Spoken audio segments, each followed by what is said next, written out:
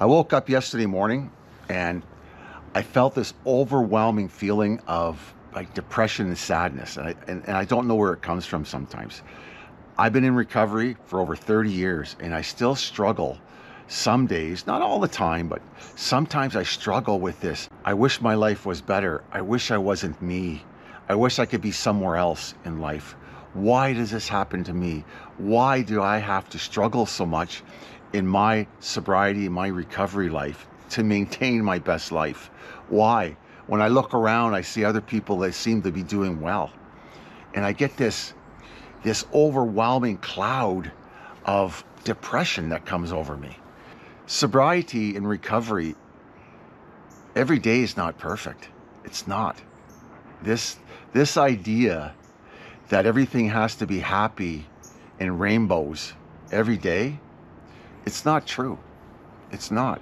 Life sometimes, even in sobriety, even when things are going well, it, it totally sucks sometimes. And I'm going through it. I'm going through it and I hope I snap out of it. I got tons of things to be grateful for. I have an off the grid cottage.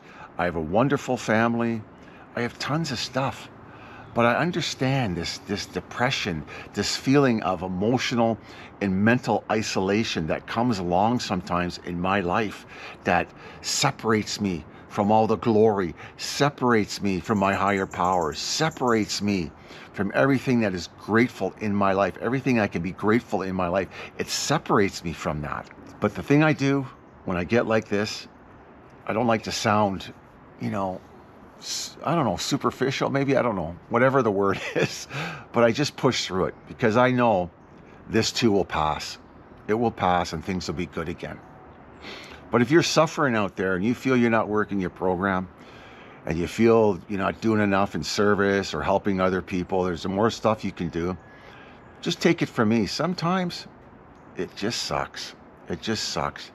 And it's not that I'm not working my program. It's not that I'm not doing the right things. And it's just fucking life is awful sometimes. And this one is brought on by me. It's brought on by me. It really is. So I just want to share that with you today, okay? And um, God bless. You know, there is a higher power, there is a God, and He's helping everybody to be a better person and help to cope in this life of ours called recovery. My name is Terry G.